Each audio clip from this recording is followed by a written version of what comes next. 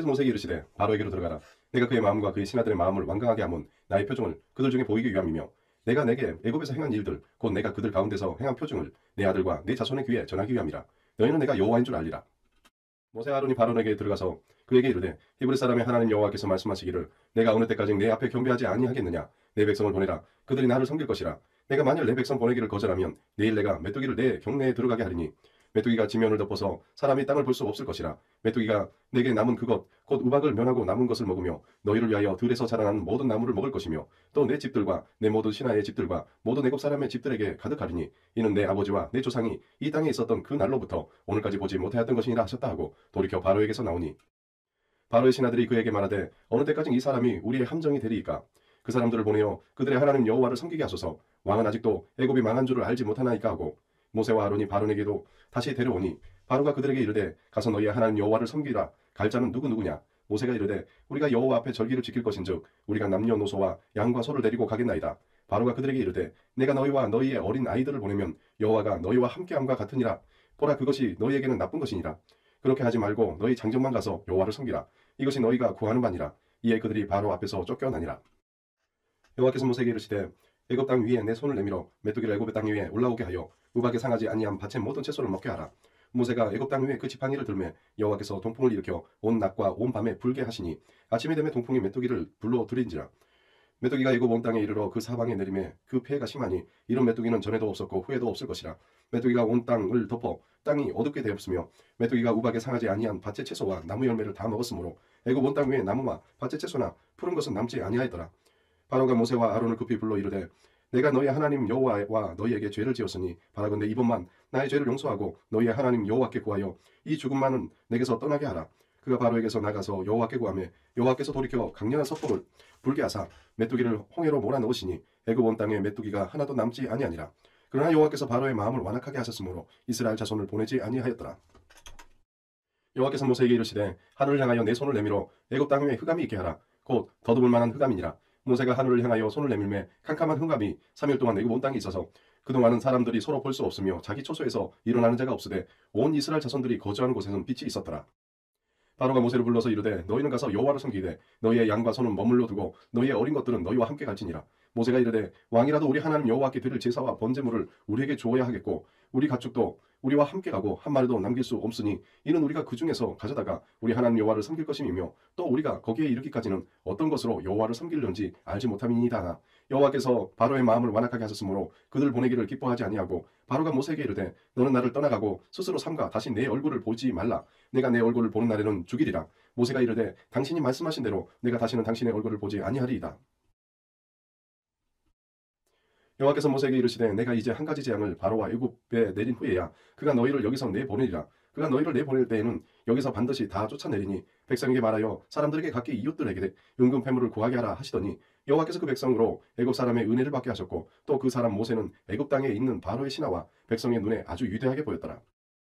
모세가 바로에게 이르되 여호와께서 이와 같이 말씀하시기를 밤중에 내가 애굽 가운데로 들어가리니 애굽 땅에 있는 모든 처음 난 것은 왕 위에 앉아 있는 바로의 장자로부터 맷돌 뒤에 있는 몸종의 장자와 모든 가축의 처음 난 것까지 죽이리니 애굽 온 땅에 전무후무한 큰 부르짖음이 있으리라. 그러나 이스라엘 자손에게는 사람에게나 짐승에게나 개 한 마리도 그 혀를 움직이지 아니하리니 여호와께서 애굽 사람과 이스라엘 사이를 구별하는 줄을 너희가 알리라 하셨나니 왕이 이 모든 신하가 내게 내려와 내게 절하며 이르기를 너와 너를 따르는 온 백성은 나가라 한 후에야 내가 나가리라 하고 심히 노하여 바로에게 나오니라. 여호와께서 모세에게 이르시기를 바로가 너희의 말을 듣지 아니하리라. 그러므로 내가 애굽 땅에서 나의 기적을 더하리라 하셨고 모세와 하론이 이 모든 기적을 바로 앞에서 행하였으나 여호와께서 바로의 마음을 완악하게 하셨으므로 그가 이스라엘 자손을 그 나라에서 보내지 아니하였더라. 여호와께서 애굽 땅에서 모세와 아론에게 일러 말씀하시되 이 달을 너희에게 달의 시작 곧 해의 첫 달이 되게 하고 너희는 이스라엘 온 회중에 말하 이르라 이달 열흘에 너희 각자가 어린 양을 취하지니 각 가족대로 그 식구를 위하여 어린 양을 취하되 그 어린 양에 대하여 식구가 너무 적으면 그 집의 이웃과 함께 사람 수를 따라서 하나를 취하며 각 사람이 먹을 수 있는 분량에 따라서 너희 어린 양을 계산할 것이며 너희 어린 양은 흠 없고 일년된 수컷으로 하되 양이나 염소 중에 취하고 이달 열 나흘날까지 간직하였다가 해질 때 이스라엘 해중이 그 양을 잡고 그 피를 양을 먹을 집 좌우 물선조와 임방에 바르고 그 밤에 그 고기를 불에 구워 무교본과 쓴 나물과 아울러 먹되 날 것으로 나물에 삶아서 먹지 말고 머리와 다리와 내장을 다 불에 구워 먹고 아침까지 남겨두지 말며 아침까지 남은 것은 곧 불사르라. 너희는 그것을 이렇게 먹을지니 허리에 띠를 띠고 발에 신을 신고 손에 지팡이를 잡고 급히 먹으라. 이것이 여호와의 유월절입니다. 내가 그 밤에 애굽 땅에 두루 다니며 사람이나 짐승을 막론하고 애굽 땅에 있는 모든 처음 난 것을 다 치고 애굽의 모든 신을 내가 심판하리라 나는 여호와라 내가 애굽 땅을 칠 때 그 피가 너희가 사는 집에 있어서 너희를 위하여 표적이 될지라 내가 피를 볼 때 너희를 넘어가리니 재앙이 너희에게 내려 멸하지 아니하리라 너희는 이 날을 기념하여 여호와의 절기를 삼아 영원한 규례로 대대로 지킬지니라. 너희는 이래 동안 무교병을 먹을지니 그 첫날에 누룩을 너희 집에서 제하라. 무릇 첫날부터 일곱째 날까지 유교병을 먹는 자는 이스라엘에서 끊어지리라. 너희에게 첫날에도 성회요. 일곱째 날도 성의가 되리니 너희는 이 두 날에는 아무 일도 하지 말고 각자의 먹을 것만 갖출 것이니라. 너희는 무교병을 지키라. 이 날에 내가 너희 군대를 애굽 땅에서 인도하여 내었음이냐?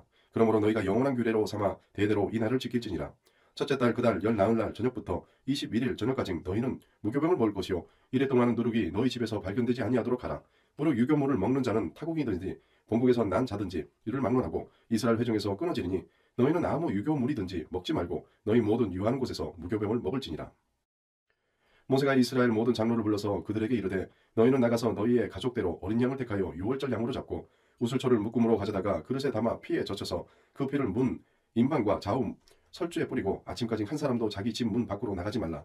여호와께서 애굽 사람들에게 재앙을 내리려고 지나가실 때문 인망과 좌우 물선주의 피를 보시면 여호와께서 그 문을 넘으시고 멸하는 자에게 너희 집에 들어가서 너희를 치지 못하게 하실 것입니다.